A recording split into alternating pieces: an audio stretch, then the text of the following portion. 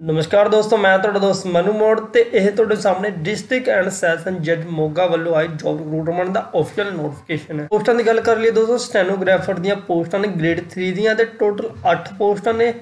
General ਅਤੇ SC ਵਾਸਤੇ ਤਾਂ ਆਪਾਂ ਚੈੱਕ ਕਰ ਸਕਦੇ ਹਾਂ ਜਰਨਲ ਕੈਟਾਗਰੀ ਵਾਸਤੇ 6 ਪੋਸਟਾਂ ਐਸਸੀ ਵੀਸੀ ਵਾਸਤੇ ਇੱਕ ਇੱਕ ਪੋਸਟਾਂ ਦੀ ਸੈਲਰੀ 10800 300 ਇੱਥੇ ਇਹਨਾਂ ਨੇ ਮੈਂਸ਼ਨ ਕੀਤੀ ਹੋਈ ਹੈ ਤੇ ਅਪਲਾਈ ਕੌਣ ਕਰ ਸਕਦਾ ਗ੍ਰੈਜੂਏਸ਼ਨ ਜਿਨ੍ਹਾਂ ਨੇ ਵੀ ਕਿਸੇ ਵੀ ਸਟਰੀਮ ਵਿੱਚ ਬੀਏ ਬੀਕਾਮ ਬੀਐਸਸੀ ਜਾਂ ਕਿਸੇ ਵੀ ਸਟਰੀਮ ਵਿੱਚ ਗ੍ਰੈਜੂਏਸ਼ਨ ਕੀਤੀ ਹੈ ਉਹ ਇਸ ਨੂੰ ਅਪਲਾਈ ਕਰ ਸਕਦੇ ਨੇ। ਪਲੱਸ ਇੱਥੇ ਇਹਨਾਂ ਨੇ ਕੀ ਚਾਹੀਦਾ ਹੈ ਕਿ computer typing speed 80 word per minute ਹੋਣੀ ਚਾਹੀਦੀ ਦੋਸਤੋ, ਇਹ ਤਾਂ ਨਾਰਮਲੀ ਜੇ ਮਹੀਨਾ ਵੀ ਤੁਸੀਂ ਪ੍ਰੈਕਟਿਸ ਕਰ ਲਓਗੇ ਤਾਂ ਹੋ ਜਾਂਦੀ ਹੈ, ਕੋਈ ਦਿੱਕਤ ਵਾਲੀ ਗੱਲ ਨਹੀਂ ਹੈ।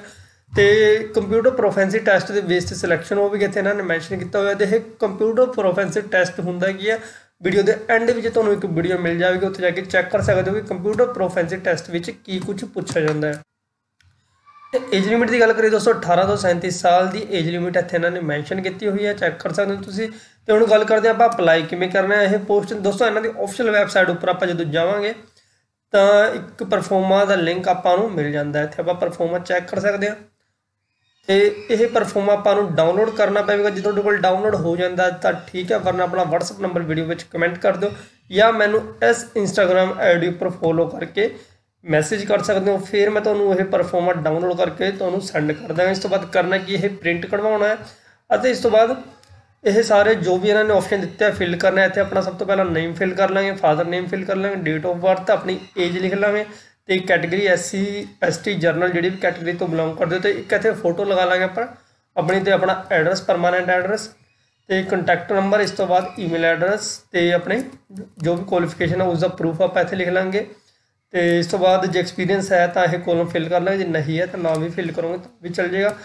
ਤੇ ਬਸ ਹੋਰ ਕਰਨਾ ਕੁਝ ਨਹੀਂ, ਬਸ ਸਿਗਨੇਚਰ ਕਰਨੇ ਨੇ ਇੱਥੇ।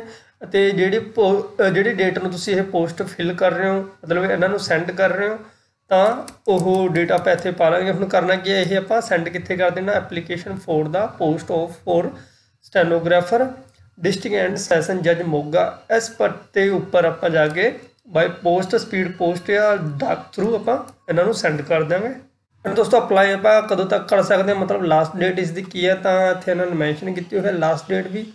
ਤਾਂ ਲਾਸਟ ਡੇਟ ਇੱਥੇ ਆਪਾਂ ਚੈੱਕ ਕਰ ਸਕਦੇ 23 4 2021 ਤੱਕ 5 ਵਜੇ ਤੋਂ ਪਹਿਲਾਂ ਪਹਿਲਾਂ ਆਪਾਂ ਇਸ ਪੋਸਟ ਨੂੰ ਸੈਂਡ ਕਰ ਸਕਦੇ ਹਾਂ ਬਾਈ ਡਾਕ ਤੇ ਇਸ ਤੋਂ ਇਲਾਵਾ ਇਸ ਫਾਰਮ ਦੇ ਪਰਫਾਰਮਾ ਦੇ ਨਾਲ ਜੋ ਤੁਹਾਨੂੰ ਦਿਖਾਇਆ ਹੈ, ਨਾਲ ਕੀ ਲਾਉਣਾ ਪਾਸਪੋਰਟ ਸਾਈਜ਼ ਫੋਟੋ ਲਾਉਣੀ ਹੈ ਤੇ ਆਪਣੇ ਜੋ ਵੀ ਡਾਕੂਮੈਂਟ ਨੇ ਉਸ ਦਾ ਇੱਕ ਫੋਟੋ ਕਾਪੀ ਕਰਕੇ ਜੋ ਵੀ ਆਪਣੇ ਐਲੀਜੀਬਿਲਟੀ ਦੇ ਜੋ ਵੀ ਕੁਆਲੀਫਿਕੇਸ਼ਨ ਦੇ ਪ੍ਰੂਫ ਨੇ ਉਹਨਾਂ ਦੀ ਇੱਕ ਫੋਟੋ ਕਾਪੀ ਅਤੇ ਇਸ ਤੋਂ ਇਲਾਵਾ ਆਪਣਾ ਆਧਾਰ ਕਾਰਡ ਦੀ ਫੋਟੋ ਕਾਪੀ ਲਾਉਣੀ ਹੈ। ਬਾਕੀ ਸਪੋਰਟਸ ਪੋਸਟ ਰਿਲੇਟਡ ਜੇ ਕੋਈ ਹੋਰ ਜਾਣਕਾਰੀ ਚਾਹੀਦੀ ਹੈ ਤਾਂ ਵੀਡੀਓ ਵਿੱਚ ਕਮੈਂਟ ਕਰ ਦਿਓ, ਮੈਂ ਤੁਹਾਡੀ ਹੈਲਪ ਜ਼ਰੂਰ ਕਰਾਂਗਾ। ਐਂਡ ਜੇ ਵੀਡੀਓ ਬੈਨੀਫੀਸ਼ੀਅਲ ਲੱਗਦੀ ਹੈ ਪਲੀਜ਼ ਚੈਨਲ ਨੂੰ ਸਬਸਕ੍ਰਾਈਬ ਕਰ ਲਓ। ਤੁਹਾਡੇ ਸਪੋਰਟ ਦੀ ਬਹੁਤ ਜ਼ਰੂਰਤ ਹੈ।